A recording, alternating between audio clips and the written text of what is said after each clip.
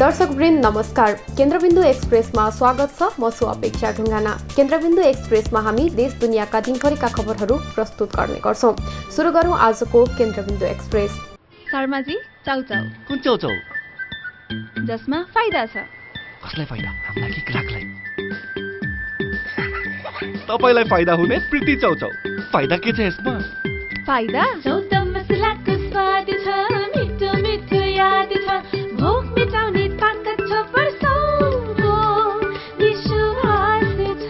बुझ्यो?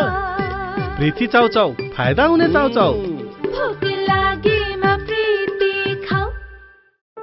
जस्तै परिस्थितिमा पनि हन्डा छ सधैँ तपाईँसँगै त्यसैले अब हन्डा हुनेछ तपाईँसँग मात्र एक रुपियाँको डाउन पेमेन्ट वा एक रुपियाँको इएमआई वा एक प्रतिशत इन्ट्रेस्ट रेटमा थप जानकारीका लागि यी नम्बरमा कल गर्नुहोस् वा माथि दिएको लिङ्क क्लिक गर्नुहोस् हन्डा छ सधैँ तपाईँसँगै केन्द्रबिन्दु एक्सप्रेस सुरु गरौँ कोरोना अपडेटबाट। कोरोना भाइरसको संक्रमणबाट विश्वभर दुई करोड अठाइस लाख अठासी हजार पाँच सय अडचालिस संक्रमित तीमध्ये सात लाख सन्तानब्बे हजार छ सय एकको मृत्यु एक करोड पचपन्न लाख सैतिस हजार तिरानब्बे निको भएर घर फर्किए। आज आठ सय अडतिसजना थपिएसँगै नेपालमा कोरोना संक्रमितको संख्या तीस हजार चार सय तिरासी। काठमाडौँमा एक सय बयालिस भक्तपुरमा पन्ध्र र ललितपुरमा पच्चिस गरी आज काठमाडौँ उपत्यकामा एक सय बयासी नयाँ संक्रमित थपिए। काठमाडौँ उपत्यकाको जम्मा संक्रमित संख्या दुई हजार आठ सय अस्सी। देशभर बाह्र हजार एक सय बत्तीस संक्रमित आइसोलेसनमा उपचाररत बाह्र हजार दुई सय चौतिस क्वारेन्टिनहरूमा। आज मात्र पिसिआर विधिबाट तेह्र हजार पाँच सय उनासी जनाको कोरोना परीक्षण। आजसम्म पिसिआर विधिबाट पाँच लाख उनासी हजार आठ सय उनान्सय जनाको परीक्षण। हालसम्म कोरोना संक्रमणबाट निको हुनेको संख्या अठार हजार दुई सय चौध। आज मात्र दुई सय पचासजना निको। थप एघारको मृत्यु भएसँगै नेपालमा कोरोना संक्रमणबाट मृत्यु हुनेको संख्या एक सय सैतिस। भाद्र शुक्ल तृतीयाका दिनमा मनाइने हरितालिका तीज शिवालयहरू बन्द भएकाले घरमै पूजा आजा गरी मनाइदे आजको दिन व्रत बसी शिव पार्वतीको पूजा उपासना गरेमा सुख शान्ति र परिवारको कल्याण हुने धार्मिक विश्वास। इन्द्रध्वजथानका लागि रुख नकाटिने जात्रा स्थगित। यस वर्ष काठमाडौँ उपत्यकामा कोरोना भाइरसको संक्रमण बढ्दै गएपछि बुधबार रातिदेखि निषेधाज्ञा जारी हुने हुँदा इन्द्रध्वज जोत्थानका लागि रुख नकाटिने इन्द्र जात्रा सञ्चालन गर्ने जिम्मेवारी पाएको संस्थान काठमाडौँ शाखाका प्रमुख हरिप्रसाद सुवेदीद्वारा जानकारी।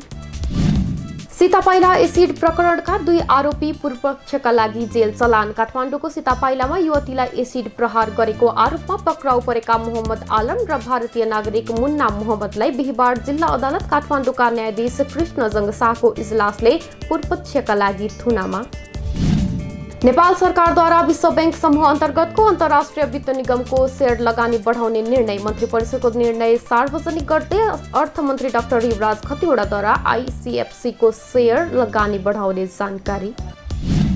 उपत्यकामा शुक्रबार निर्वाध रूपमा ब्याङ्क सञ्चालन एक जिल्लामा एक शाखा एक ब्याङ्कमा बढीमा तिसजना कर्मचारीले ब्याङ्क चलाउने निर्णय अनुसार सोही अनुरूप काम गरिएको नेपाल ब्याङ्कर्स एसोसिएसनका अध्यक्ष भुवन दाहालद्वारा जानकारी।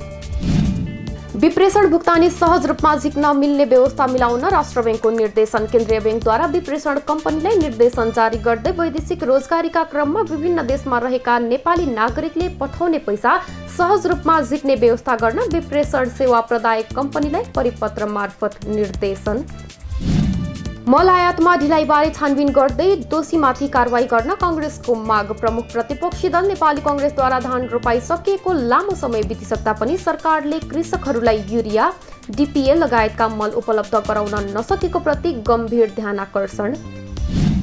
सुनको मूल्य स्थिर तोलाको अन्ठानब्बे हजार आठ सय। शुक्रबार छापावाला सुन प्रति तोला अन्ठानब्बे हजार आठ सय रुपियाँमा यथावत चाँदीको मूल्य भने प्रति तोला दस रुपियाँ बढेर एक हजार तिन सय सत्तरी रुपियाँ कायम भएको नेपाल सुनचाँदी व्यवसायी महासङ्घद्वारा जानकारी। विपदबाट ज्यान गुमाउनेको परिवारलाई सुदूरपश्चिम प्रदेश सरकारले एक लाख दिने मुख्यमन्त्री तथा मन्त्री परिषदको कार्यालयमा बिहिबार बसेको मन्त्री परिषदको बैठकले विपदमा परे ज्यान गुमाएका व्यक्तिका परिवारलाई एक लाख दिने निर्णय गरेको सामाजिक विकास मन्त्री कृष्णराज सुवेदीद्वारा जानकारी कपिल वस्तुको सुठौली भन्सारमा लक्ष्यभन्दा तेब्बर राजस्व सङ्कलन कोरोना महामारीका बीच पनि चालु आर्थिक वर्ष दुई हजार सतहत्तर अठहत्तरको साउन महिनाका लागि तिन करोड पैँतालिस लाख छिहत्तर हजार तोकिएको लक्ष्यमध्ये दस करोड चौबिस लाख पन्ध्र हजार राजस्व सङ्कलन भएको भन्सार प्रमुख तीर्थराज पासवानद्वारा जानकारी। निषेधाज्ञा गरेकै दिनदेखि तरकारीको मूल्य अस्सी प्रतिशतसम्म बढ्यो। उपत्यकामा जारी निषेधाज्ञा गरेसँगै मुख्य तरकारीको भाउ थोकमै दसदेखि अस्सी प्रतिशतसम्म महँगो भएको कालीमाटी फलफुल तथा तरकारी बजार विकास समितिद्वारा जानकारी। कुवेतमा अलपत्र श्रमिकको तत्काल उद्धार नगरे भोक र रोगले मर्ने गुनासो। कुवेत स्थित अल रबिक बिल्डिङ जनरल कन्ट्राक्टिङ कम्पनीमा काम गर्दै आएका उनीहरू कोभिड नाइन्टिनका कारण छ महिनादेखि बेरोजगार भएकाले त्यहाँ अवस्थित तेत्तिस नेपाली श्रमिकहरूले जतिसक्दो छिटो उद्धार गरिदिन नेपाल सरकार समक्ष अनुरोध।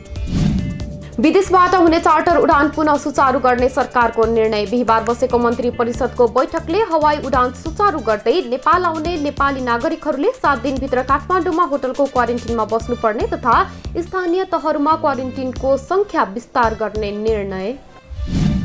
आइसोलेसन फोडेर स्वास्थ्य सामग्री चोरिए। सङ्खुवा सभा सदरमुकाम खादबारी स्थित हिमालय किरण क्याम्पसमा बिहिबार राति ढोका फोडेर करिब पन्ध्र लाख बराबरको आइसोलेसनका स्वास्थ्य सामग्री चोरी भएको अस्पतालका मेडिकल सुपरिन्टेन्डेन्ट सुन्दर श्याम झाद्वारा जानकारी। सात लाख अडतिस हजारले गराए कोरोना बिमा एकचालिस करोडभन्दा बढी प्रिमियम सङ्कलन। बिमा कम्पनीहरूको नियामक निकाय बिमा समितिको तथ्याङ्क अनुसार बुधबार भाद्र तिन गतेसम्म सात लाख अडतिस हजार चार सय अन्ठाउन्न जनाको कोरोना बिमा कोरोना बिमा लेख बिक्री मार्फत बिमा कम्पनीहरूद्वारा हालसम्म एकचालिस करोडभन्दा बढीको प्रिमियम बिमा शुल्क सङ्कलन। जुम्लामा औषधि विज्ञान पठन पाठन गर्न अनुमति कर्णाली प्राविधिक शिक्षालय जुम्लामा चिकित्सा शिक्षा आयोगले डिप्लोमा इन फार्मेसी पठन पाठनका लागि अनुमति प्रदान गरेसँगै यो वर्षदेखि औषधि विज्ञान डिप्लोमा इन फार्मेसी पढाइ हुने कर्णालीका विद्यार्थी उत्साहित। गाई काटेर मासु भाग लगाउँदै गरेका चारजना पक्राउ गो हत्याको अभियोगमा नुवाकोटको तारकेश्वर गाउँपालिका पाँचबाट चन्द्रबहादुर तामाङ सुदीप तामाङ जय तामाङ र दले तामाङलाई नियन्त्रणमा लिएको जिल्ला प्रहरी प्रमुख अविनारायण काफ्लेद्वारा जानकारी। आइएचएनओले जापानमा अध्ययनरत विद्यार्थीलाई छात्रवृत्ति दिने विभिन्न देशबाट उच्च शिक्षा अध्ययनका लागि जापान पुगेका विद्यार्थीलाई पार्ट टाइम गर्दै कलेज तथा आफ्नो जीवनयापनको खर्च चलाउन राहत दिने उद्देश्यले छात्रवृत्ति दिन लागि आइएचएनओका प्रमुख योसिहारू कोमियामाद्वारा जानकारी। बाह्र विषय नगरपालिकाले बनायो पचास सयको आइसोलेसन। कोरोना भाइरसका सङ्क्रमितहरू बढ्दै गएपछि सिन्धुपाल्चोकको बाह्र विषय नगर चार सालघारीमा रहेको अरण्यको कलेजको भवनमा नगरपालिकाले आइसोलेसन वार्ड निर्माण गर्न लागेको नगरपालिकाका मेयर शेर्पाद्वारा जानकारी अफगानिस्तानमा लस्कर ई तालिबाका दुई वरिष्ठ कमान्डर सहित पाँचजना मारिए। अफगानिस्तानको कुन्नार प्रान्तको दाङगाम जिल्लामा भएको राष्ट्रिय सुरक्षा निर्देशनालय र अफगानी राष्ट्रिय सेनाको संयुक्त अपरेसनका क्रममा भएको झडपमा आतंकवादी समूह लस्कर ई तालिबानका पाँचजना मारिएको अन्तर्राष्ट्रिय सञ्चार माध्यमहरूमा उल्लेख। रुसी विपक्षी नेता नल्फानीलाई विष खुवाएको आशंका उपचारमा सघाउन जर्मनीको चासो। राष्ट्रपति भ्लादिमिर पुटिनका खरो आलोचक मानिने एकजना रुसी विपक्षी नेता अलेक्सी नल्फानीलाई विष दिएको आशंका गरिएपछि उनको उपचारमा सबै खालको सहयोग गर्न जर्मनी तयार। केन्द्रबिन्दु एक्सप्रेसमा अब खेलकुद अपडेट। काठमाडौँ जिल्ला तेक्वान्दो सङ्घले दुई सयजनाको कोरोना बिमा गर्ने जिल्ला सङ्घको बिहिबार बसेको अनलाइन बैठकले काठमाडौँ जिल्लामा रहेका विभिन्न तेक्वान्दो डोजाङका करिब दुई सयजनाको पचास हजार रुपियाँका दरले डोजाङ प्रमुखको कोरोना बिमा गरिदिने काठमाडौँ जिल्लाका अध्यक्ष अशोक खड्गाद्वारा जानकारी युरोपा लिगको पादी भिडन्त आज सर्वाधिक सफल सेभियालाई लुकाकुको डर। राति पाउने एक बजे हुने फाइनलमा इटालियन इन्टरमिनालले युरोपा लिगको उपाधिका लागि दुई टिम पहिलो पटक प्रतिस्पर्धा।